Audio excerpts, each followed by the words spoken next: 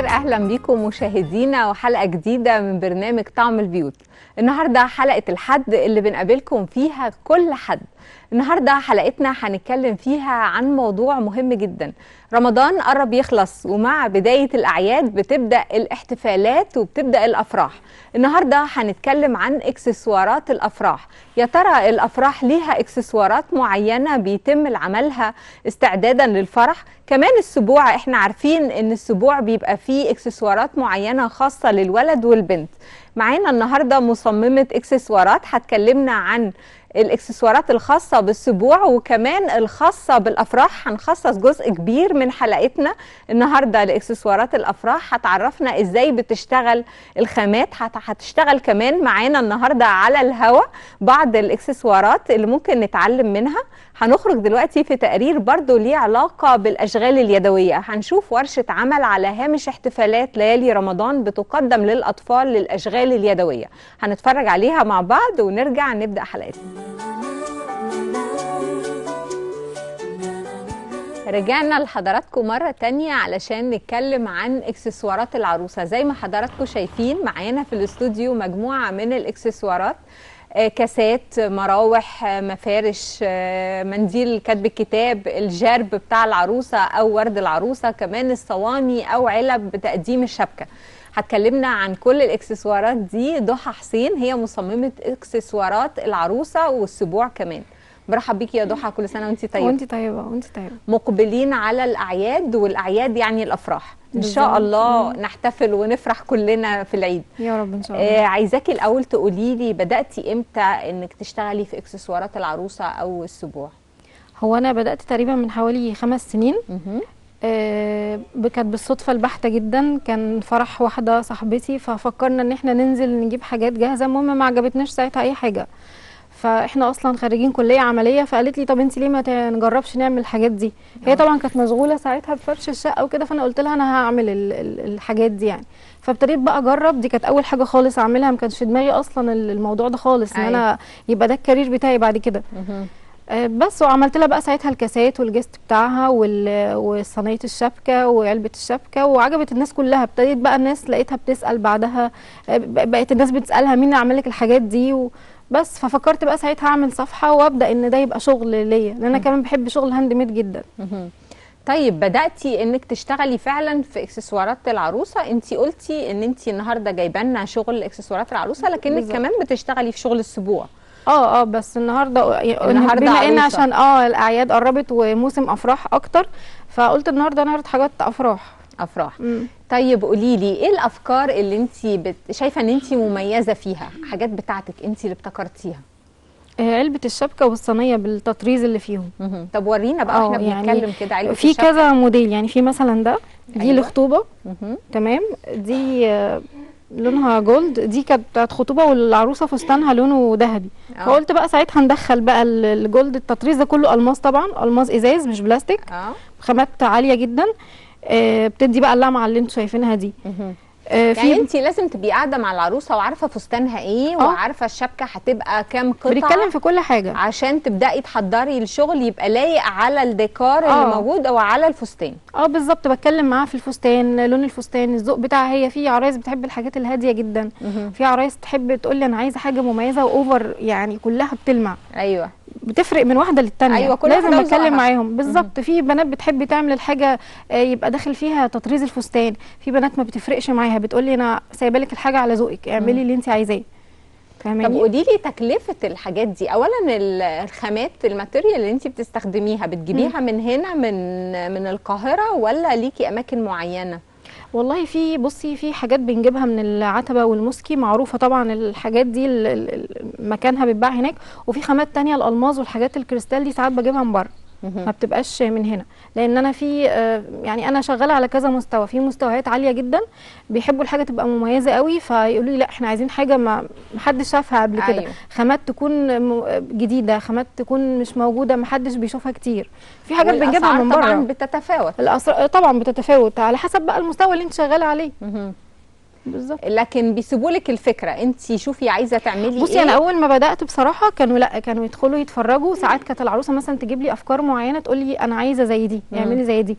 بعد الحمد لله لما الموضوع اتطور شوية وناس كتير الحمد لله بتثق في ذوقي دلوقتي. يعني أنا عايزة أقول لك في عرايس تكلمني بعيد عن الشغل تقول لي أنا عايزة مثلا نقي معايا ابعت لك صور العفش نقي معايا أيوة. ابعت لك صور الفساتين نقي معايا. لأن هم شافوا الشغل والحمد لله ناس كتير عاجبها ال- ال- التطريز وعاجبهم ذوقي. ففي ناس كتير لأ بتسيب لي الموضوع. وفي عرايس؟ لأ بتبقى مختارة شكل معين بتبقى عايزاه. تقول لي لأ أنا عايزة زي ده أوكي. لكن الخامات متوفرة كلها. الخامات آه كلها متوفرة. طيب جميل. هي ضحى هتفرجنا كمان على شغل هي هتعمله وإحنا قاعدين بنتكلم مع بعض. بس دلوقتي هنخرج في تقرير نشوف من خلاله معرض للأسر المنتجة. هنتابع التقرير ونرجع نشوف ضحى هتعلمنا إيه.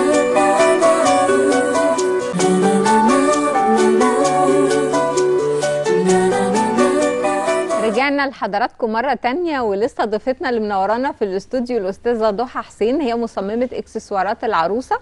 هتكلمنا دلوقتي عن صواني العروسة.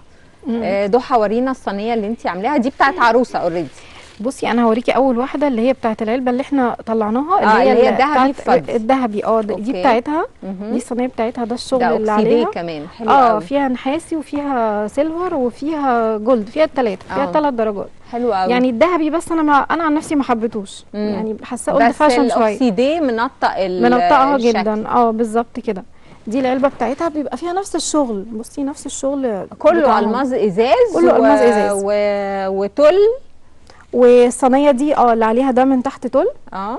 ده كله تل واللي فوق ده بيبقى زي أورجانزا كده. دي الصينية اللي بتقدم عليها شربات العروسه بصي بتقدم عليها الشربات الكاسات بتقدم عليها علبة الشبكة. ممكن بعد كده العروسة يعني أنا دايما بقول لهم إيه، الألماس طبعا عشان خامته كويسة وإزاز هي ممكن تلمعه وتشيلها تحطها على التسريحة بعد كده. آه تحط عليها بيتها. آه بتحط عليها ال perf... ال perfume بتاعها ممكن تقدم عليها شوكولاتة للضيوف يعني ليها كذا استعمال. تمام. مم. طيب والتانية؟ دي التانية بقى دي بتاعت زفاف. آه دي كلها بقى شغل silver بس. دي كلها دي شغلها أعلى شوية أيوة. منها آه. وانت حاطة فيها ريش كمان. آه. الريش الأبيض ده الريش ده بيبقى أقول لك الناس حبته. جدا. آه حاولت ألغيه أدخل حاجة جديدة ما فيش. آه. هي الناس عجبها شكله رقيق جدا. آه. وده شغل نفسه ده تطريز جوه الصينية. انت اللي بتطرزي الحاجات دي ولا بتشتريها وحدات جاهزة وتلزقيها؟ في حاجات بتبقى وحدات جاهزة يعني دي مثلا كذا وحدة مع بعض وأنا مهم. بركبهم ده على حسب بقى بيبقى الذوق العام. أيوه. يعني أنا في حاجات بلاقيها ماشية مع بعضها بركبها مهم. في حاجات بلاقيها مش ماشية مع بعضها فما ما بدخلهاش. طب تمام وجرب العروسة الورد بتاع العروسة كمان بيبقى مميز وبيبقى ليه شكل مختلف.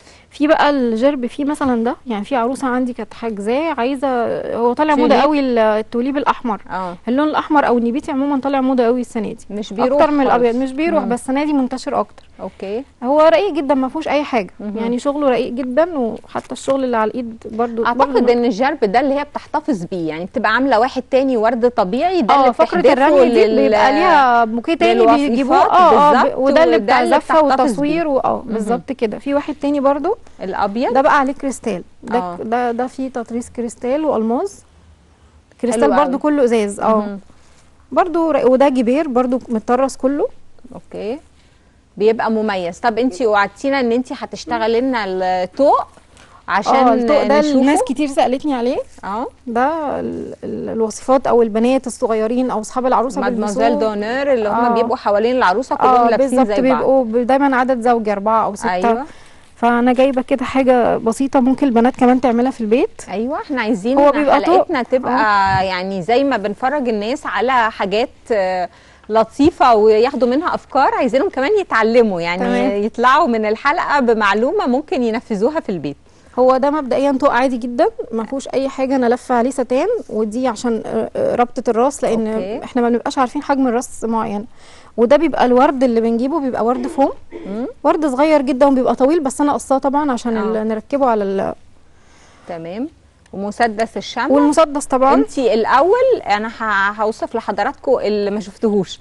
الأول هي آه، ضحى جابت طوق آه، سرتات عادية بلاستيك لونها أبيض. آه بالظبط. وبدأت تلف عليها بمسدس أبيض؟ الشمع آه. الستان الأبيض لغاية ما غطيتها كلها. وبعدين هتبدأ بقى توزع عليها الورد الأبيض الصغير عشان تدينا شكل لطيف للبنات الصغننين. بس بنبدأ بقى من الأول خالص كده. مش عارفة الكاميرا كده جايباني؟ أيوه جايباكي.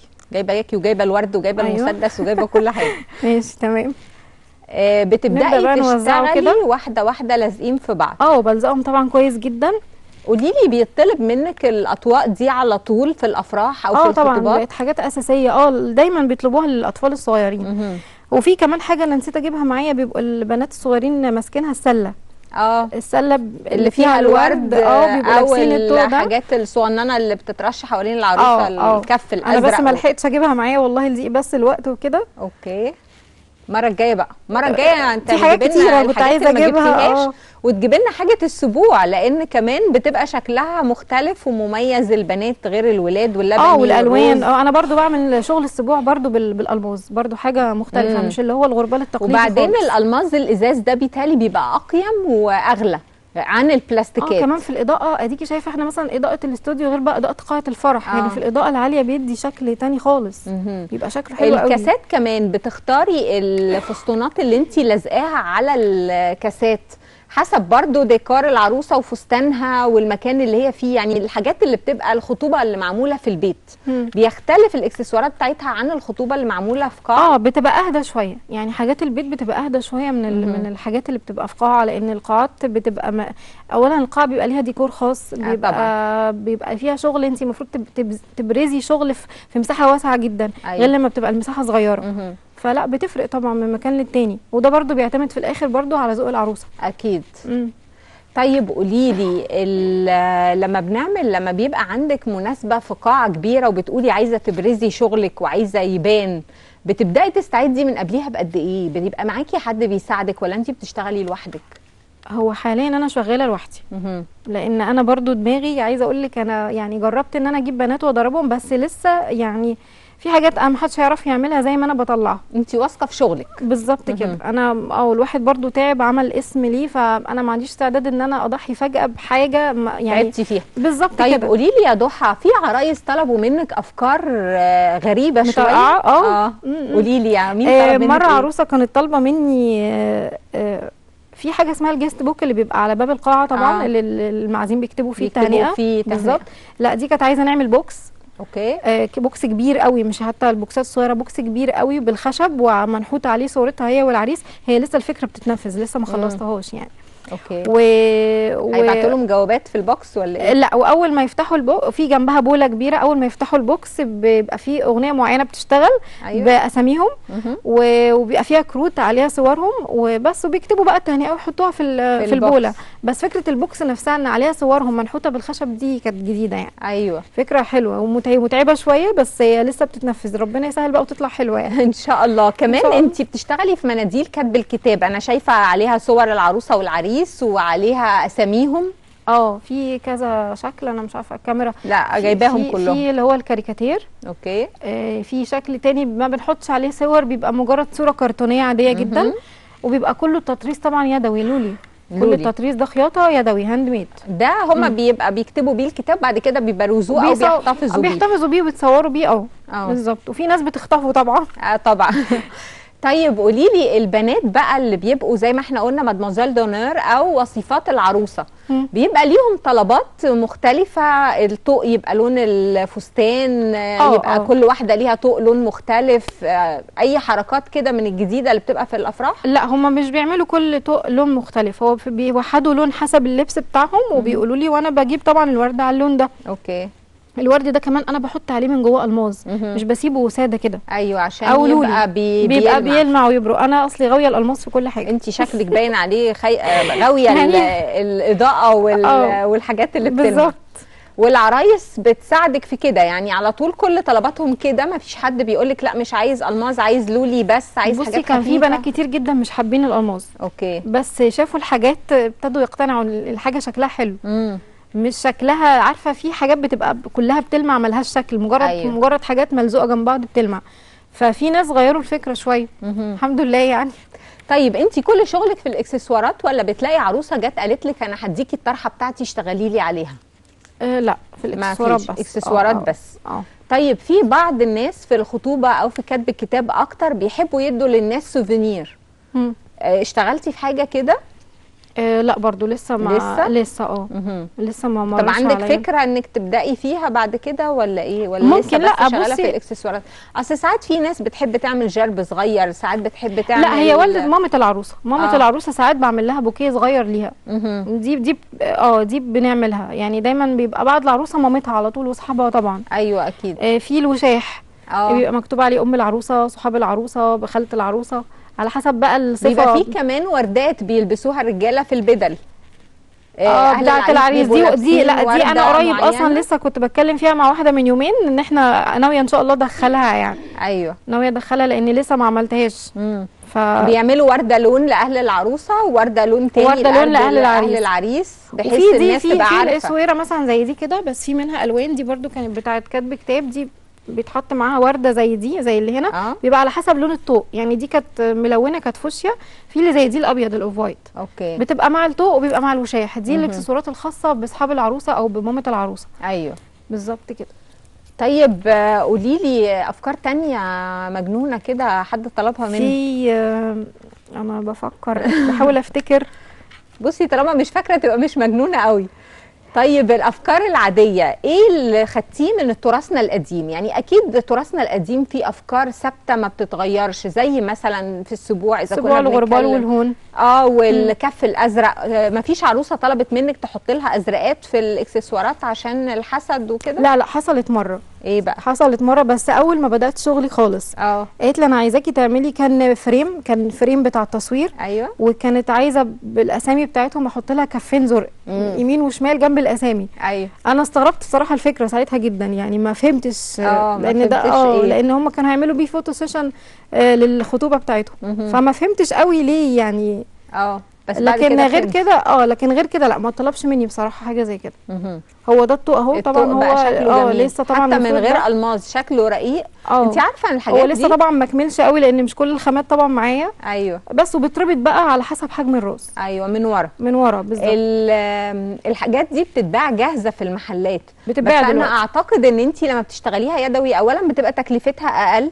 ثانيا بتبقي بتضيفي ليها لمساتك غير لما اشتري حاجة موجودة منها غير, كتير. غير اللمسات كمان. الحاجة اللي معمولة في البيت handmade بتبقى معمولة شوية بدقة أكتر. يعني أنا في حاجات بشوفها في المحلات في حاجات بمسكها بإيدي ألاقيها طلعت. مش معمولة مش مخدومة الشمع صح. مثلا قليل قوي لازقين نقطة اللي هو هتمسكي الحاجة هتفك على طول. أيوه. لا أنا أهم أنا من ضمن الحاجات اللي بهتم بيها إن الحاجة لازم تبقى ملزوقة كويس جدا عشان آه، تقدر العروسة تحتفظ بيها أطول فترة. مم. ما مش حاجة مجرد هتاخدها ليلة وتتركن دي بتبقى حاجات للذكرى وفي نفس الوقت ما يحصلش موقف بايخ في وسط الاحتفال بالظبط يعني. كده بالظبط.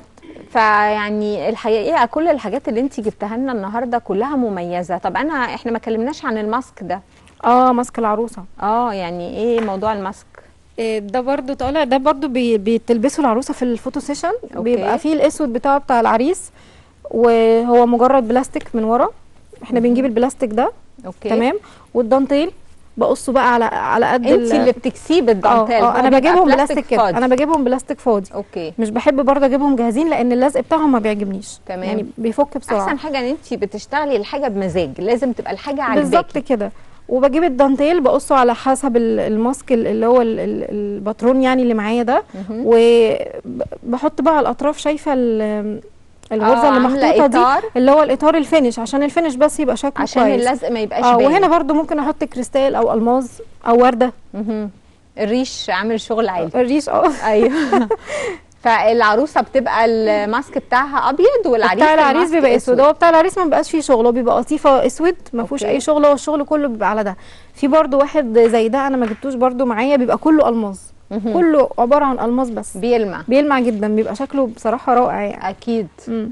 أكيد. طيب العروسة والعريس آه، في إيه تاني بيحبوا ياخدوه من الإكسسوارات يحتفظوا بيه في بيتهم؟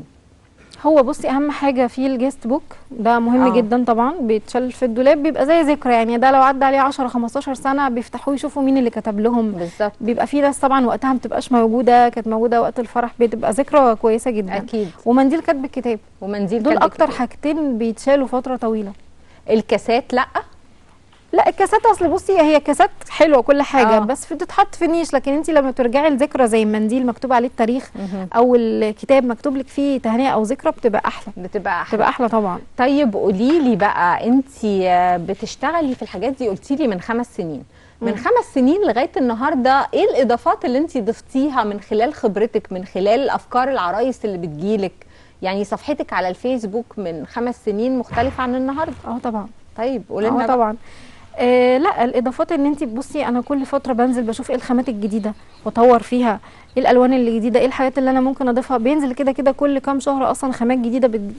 بتشوفيها أو أنا في حاجات دايما بتابعها من بره. أوكي. يعني أنا ساعات بيعجبني شوية الموضة بره أكتر في الحاجات دي. تاخدي منها الأفكار منها أفكار. بالظبط وبضيفها. هايل. لكن طبعا أول ما الواحد بدأ كان لسه ما كنت بقى بجيب صور أقول أنا هعمل زي ده لكن دلوقتي لا الوضع طبعا مختلف خالص. دلوقتي الناس اللي بتاخد صور أطور- زي ضحى.